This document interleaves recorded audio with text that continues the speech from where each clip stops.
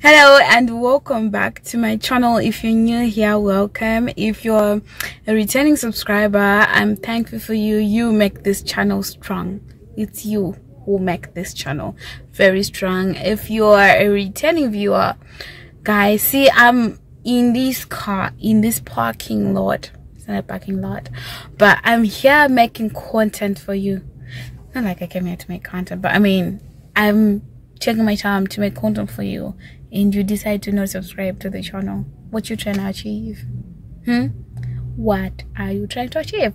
So jokes aside please subscribe to my channel. Please consider subscribing uh, to this so that um you get more content. My name is maud. I am a chartered accountant living and working in zimbabwe. I make content about um, careers finance and traveling sometimes. So without getting into too much uh, ado i just want to have a chit chat with you guys about when is it the right time to leave the audit firms?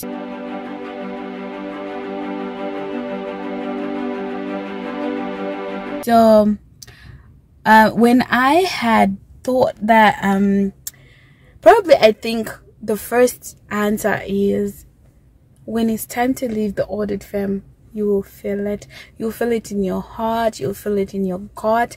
You'll feel it in your bones that it is time to go. But wait let me just go in uh, in the driver's seat. I think there's better lighting there. Okay um i think this looks way better. Uh today i'm being chauffeured so i wasn't in the driver's seat. So anyway i was saying if you are when it's time to leave you feel it in your bones you feel it in your gut you feel it in your heart you feel it in your mind your mind will tell you it's time to go. But uh, if you're having the dilemma that i had as well of what is the right time to leave the firm. Uh, this video is for you. I'm not going to exactly give you an answer a true a straight answer. I'm just going to give you like questions that you need to ask yourself. So um, i was when i started going to the other firm my plan was to stay until i was manager and then go to business school. Uh, but then i was feeling it. Uh, i started feeling it like ah this is not going to work around the year that i was now in my third year third year 38 months somewhere around there i felt like oh i need to leave now. Um and i always had this dilemma of you don't want to leave too early but you also don't want to leave too late. But leaving too late is by staying in the big four firm i feel like it's a safe option because your exit opportunities stay or even maybe increase. So if you're if you're a senior if you stay to audit manager you're going to have access to being able to get more jobs in the um, in the audit profession in the accounting profession that you probably didn't have access to as an audit senior which is very questionable please stay on. But if you're and then if you get a senior manager which means you're also able to also you're also able to apply for those other roles that are way above what a senior can um, can apply to and you're more qualified for those. But if you qualify as an as a chartered accountant and you're still an audit senior you have these questions about am i leaving too early or am i leaving too late? Now the whether you're leaving too early or too late or when is the right time to leave depends on what do you want to do so i would take the first thing is if you want to leave to go into audit in london maybe you want the exposure of living in london the exposure of living in manchester the exposure of having lived in new york in leeds or whatever. If you want to do that um, i don't feel like there is any point in you staying post your third year mark if you have a three-year contract because with three years experience you have solid experience. So and this experience can be sold to any firm uh, which big firm or whatever. It's not just to do with your your interview skills. Can you sell yourself? But i feel like with three years experience you can sell yourself so you can get into any job that you want. So i i would like to think that uh, with if you want to go into audit the right time to leave is around your s2 because when you're leaving you're either going to go into your s3 or your s2 so staying post s2 might make it um redundant. Like you're getting experience but you'll not be able to sell it. Unless one thing. Unless if post your s2 which is your senior 2 post your S2, you can get into manager. If you can get into manager within that year, I think it makes sense for you to stay. If you don't have pressing financial commitments that make you want to leave the firm, because here in Zim, I understand that the S2 salary won't be as much of a motivation, so people are in a rush to go. But if you don't have any pressing commitments, like if it's not somebody's dying or if it's not a house that needs to be built, which was the reason why I left the firm. Um you can stay up until manager. Why? Because when you're a manager you can then get uh, a job as a manager out of zim. And when you get a job out of money it will be very hard for you to navigate being an audit senior in the uk especially if you change firms like a new firm navigating a new culture. Even if it's the same firm a new culture a new country and then keeping on the same progression as you were as a senior here it will be hard. But here in zim because it's something's a familiar ground and you already have a sponsor and a mentor within the firm you can get to manager easily. And then you can leverage that experience to get a manager position out of zim. Because going to out of zim as a senior it will take you two to three years before you become a manager. So why not just stay for a year become a manager here and then look for jobs as manager out of Zim. So that's one if you're looking to leave as manager. But if you're looking to stay here in Zim, I would like to think the best position for you to leave the firm is audit supervisor.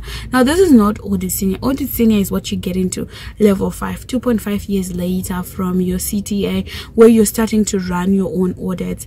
I feel like that is good but staying in the firm at that point is very good because it's going to teach you patience. It's going to teach you how to manage a team how to manage deliverables how to manage deadlines um, because now you're the one who is solely responsible for the file. Unless the firm is not going to give you the exposure to be solely responsible for the file i would like to think like as an s2 i really don't want to be working under another senior. But like if you have that opportunity to become a senior at an audit I think if you want to stay in Zim and go into other roles like FM roles, uh, senior accountant roles, the right time to then leave is your level 6 yes level six level seven right there when you're audit supervisor. You've had a team you've run a client you've had four five juniors under you reporting until you've reported back upwards you've um you've run a file you've completed a file done audit reports and everything i feel like you can defend yourself and you have enough experience to go into any FM, any senior roles. If you want to stay in zim i don't see the value of staying up until manager in a firm why? If you stay in a firm for like a year after you become senior and you get a year. In that year you make sure you run three clients especially if they're like listed clients that have deadlines that have teams that have people who are smart. I feel like in those in that one year one to two years post that you have gained so much experience in managing people managing timelines managing everything that matters as a chartered accountant. And i feel like because you have that experience you can fit into any fm whatever else i've gone into interviews. When i was a senior i've gone into an interview. I went to this interview for fm and guess who was also in that interview? My managers who were um, at my old firm they were also in that interview interviewing for the same role. And i think we all left the first round um, a lot of people were eliminated and they still sailed through to the last round of that interview. Why? Because I had a similar experience. Managing people is managing people. So I think like if you want to stay, if you want to go into industry in Zim, if you're not going to stay until you're a senior manager, you're as good as living until you're a super, supervisor. But if you want to then get into the listed firms as like FC or whatever, then you might then give your allowance to stay up until manager.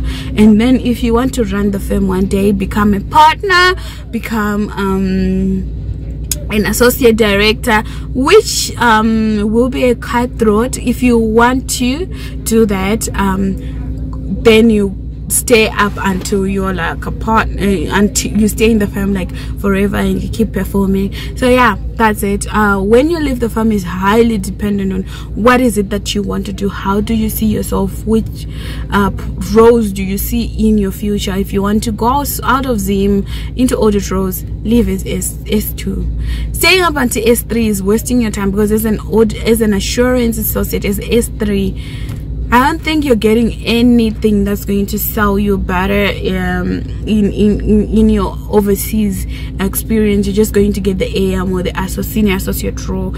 Or if you can stay up until manager. So don't decide to stay until your AM that AM role, I don't think it will serve you. But either you leave as S2 or you stay up until your manager. When you're a manager, you get the manager roles. Then that's good or if you want to go into the local market you also leave it s2 s2 is a year into your audit experience a year into audit senior a year after your audit senior experience which means you've been here for three years then um if you're asked to start leveraging your experience to go into the FM roles, because I don't think you need to be assistant manager for you to go into these FM roles. You can still get them as an audit senior, as an audit supervisor, and then or you stay up until you're senior manager. But as your senior manager you're sort of outpricing yourself out of the market. No one will hire a senior manager to become an fm at uh, smaller firms because as a senior manager you're definitely expensive. So uh, it would have been easier probably if you joined as fm and then you rose up the ranks. And i think some other people would also prefer to just hire people who now have for example if i'm going to hire an fd i'm not really going to look for um, an audit manager who just has audit experience. Who's never really felt the heat from a client perspective. So that's why i was saying like if you're going to stay for like manager not really. Manager won't save you but probably as senior manager because then you are involved in actually running the firm as the owner as a quasi owner of the business so you have that experience that can give you like the fd role. Or otherwise uh, you go in and you stay all the way in the firm up until you become like a partner depending on what is it that you want to achieve um, in your career. So i hope this video was helpful. Um, the key takeaways are what level are you? How long are you prepared to stay what are your financial goals? Because some people might be prepared to stay in the firm for like forever but like sometimes they don't have ndo vakatotarisirwa kumba kuti ndochandisa your sisters to school. So sometimes the money yekufam won't be enough or sometimes uh, you have other dreams that have nothing to do with the firm that you want to leave. So it just depends on what are your pressures? What do you hope to achieve and how best can you achieve it. And also guys talk to your mentors. Look for people that have walked this journey before you and i'm sure they will help you. People are keen to help. If you just reach them reach out to them and you come to them proper you know and just seek guidance they'll be able to help you. Thank you guys for staying this long. Um i hope this was helpful. Please feel free to click on the subscribe button and oh did you hear the accent coming through. Rich and vibes. Please feel free to just click on the subscribe button and i'll see you in the next video. Thanks and bye